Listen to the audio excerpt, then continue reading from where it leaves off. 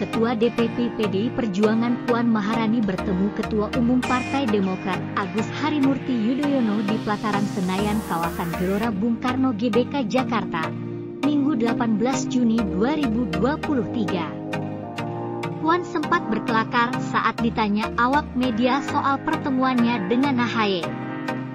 Kayak sama siapa aja. Orang akrab kok, kata Puan di pelataran Senayan GBK Jakarta. Pertemuan terjadi usai Puan dan AHY melakukan olahraga masing-masing. Puan berjalan kaki dari kediamannya di Jakarta Selatan, sedangkan AHY olahraga di kawasan Car Free Day di Sudirman Tamrin. Keduanya lalu bertemu di pelataran Senayan.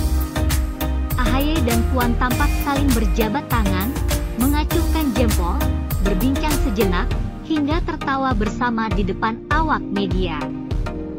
Para elit kedua partai pun saling berteriak riuh dan tepuk tangan saat keduanya pertama kali bertemu. Puan juga menyapa para elit Partai Demokrat lain yang hadir dalam pertemuan itu.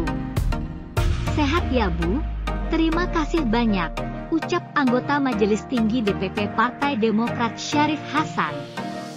Keduanya lalu masuk ke dalam restoran untuk melakukan pertemuan tertutup dan Puan direncanakan akan melakukan konferensi pers usai pertemuan. Turut hadir dalam pertemuan Sekjen PDIP Hasto Kristianto, Ketua Fraksi PDIP Utut Adianto, Ketua DPP PDIP Bambang Wuryanto, dan politikus PDIP Andreas Hugo Priera dan Masinton Pasaribu. Sementara itu, dari perwakilan Partai Demokrat hadir anggota Majelis Tinggi DPP Partai Demokrat Syarif Hasan, Sekjen Partai Demokrat Teguh Rifki Harsha, Ketua DPP Partai Demokrat Jensen Sitindaun, anggota DPR Didik Mukrianto. Sebelumnya, Sekretaris Jenderal PDI Perjuangan Hasto Kristianto mengatakan pertemuan Puan dan AHY akan membuka komunikasi politik PDIP dan Partai Demokrat.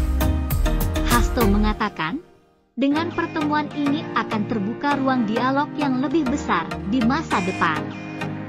Intinya pertemuan tersebut akan melakukan dialog tentang berbagai arah masa depan dan juga komunikasi di antara kedua parpol di mana dengan komunikasi ini akan terbuka suatu ruang-ruang dialog yang lebih besar, jelas Hasto di Jakarta, Sabtu 17 Juni 2023. Terima kasih sudah menonton Ada News. Jangan lupa subscribe, like dan share.